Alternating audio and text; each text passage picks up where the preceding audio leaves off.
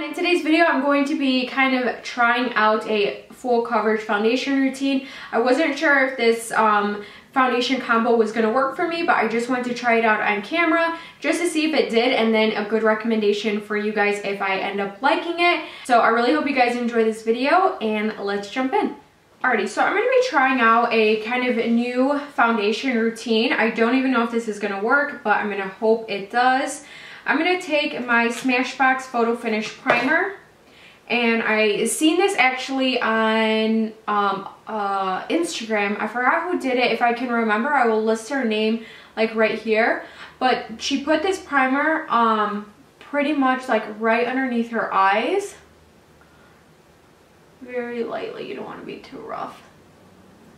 It's like wherever you have um, larger pores. So I'm just going to put this I really want to try it underneath my eyes. And then with my ring finger, I'm going to take the primer that's left and clean up the edges of my eyeshadow. Because the primer, since it has more of like that silicone feeling, it will also help to um, erase any shadow. So I'm only putting that on um, like literally on that I'm literally only putting that primer in the center right there because then I'm going to go in with my Hard Candy Pore Defense Primer, which I love. And I'm going to put this on my forehead. It is just so hydrating and it feels so good. It really smooths away my pores. But I'm going to be trying out this full coverage foundation routine just to see if it works for me because as you guys can see, I have this like breakout right here out of nowhere. Um, I'm going to be taking my Kevyn Aucoin Sensual Skin Enhancer in the number 8 and I'm going to also be mixing this with my EX1 foundation which I love. So I'm going to be um, taking a little bit of this product out. You do not need a lot of this product. I'm just going to be putting it right here. I'm going to be taking a pump of my EX1 foundation and I am in the shade F200. You guys can see I'm almost done. I need to order another one. One of my favorite foundations.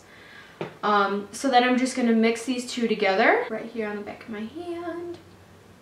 Ooh. I'm going to try it out on this side of my face first. I'm going to use my Eco Tools um, blender. I don't want to call it like a beauty blender because it's not, but I did a video all on this product total dupe for the Beauty Blender. I love it. This is all I've been using recently. Ooh, look how well this duo covered. Yeah.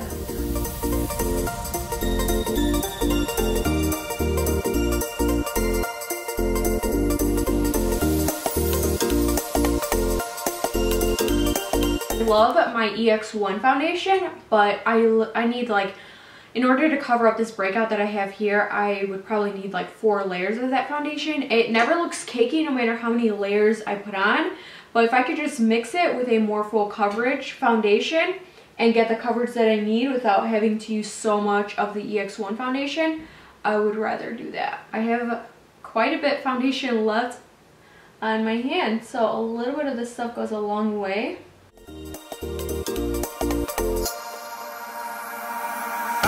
Could swear it's been 700 degrees in here since you came in. Okay, so I don't know if you guys can see, but I still have a little bit of um, discoloration very, very slightly peeking through. So just for my own mind's sake, I'm just going to go in with a little bit more foundation just in this area right here. And I'm going to really push it into the skin really, really lightly just to really help cover that up. And there, it's already covered. Awesome. Okay, then I'm going to take the edge of this and just get right around my nose. That's why I love this blender because I could get right around my nose, my eyebrows, and it fits perfectly. Everything looks so, so good. So I'm glad this combo worked out on camera because I was like, well, I'm just going to try out a full coverage foundation routine and see how it works. I wasn't going to record it, but I'm glad I did because I already knew the Kevyn Aucoin was a super full coverage foundation. Like, I knew that already. It's just a little bit too thick for me personally to wear by itself. So being able to mix it in with a more lighter foundation worked awesome. So now for the rest of my face, I'm going to go in with my favorite full coverage concealer. This is the Tarte Shape Tape Concealer and I am using the shade Light Medium. Just a little bit because a little bit of this stuff goes a very long way. I'm going to use the other side of my EcoTool sponge. Swear that this room has been running out of air and now it's starting to spin time to press this all into the skin because you don't want anything to look cakey. Because we're using full coverage products so by really taking your time to really press it into your skin with a um, sponge, which, which I feel like helps tremendously when you're using full coverage products, and by taking your time to blend it in really good, that's what's going to help it to look um, not natural because this isn't a natural foundation, um, but just help it to look a lot more skin-like. Take your time blending it in. That's what's nice about this concealer is that it doesn't dry extremely fast. Now it is time to set everything. My favorite way to set my full face of makeup, especially when I'm doing a full coverage routine like this, I love to use my Airspun powder. You could get this at Walmart, super inexpensive, hands down my favorite baking powder ever. So I'm going to take a little bit into the cap I'm going to go back in with my blender and just make sure my concealer is nicely blended out and nothing is creasing because you don't want to set the creases in your makeup. So you want to make sure it's very smoothly blended out. So I'm going to pick up the powder straight from the cap onto my sponge and go ahead and I'm going to start with my under eye area first. This sponge fits perfectly around the nose. I have to set around my nose because that is the first place that I get oily, so I just have to do that. Feel kind of bad, kind of good, kind of everything, yet it doesn't feel like it should. You make me feel... Okay, then I'm going to set my smile lines. I have to set my smile lines just to reassure myself that they're not going to crease later on. This helps tremendously with that. And then I'm going to set the center of my forehead. And depending on what you like to do, how much time you have, if you're in a rush, a lot of times I won't even, I will set my face and then I'll right, right away go in with a bigger brush and sweep everything off.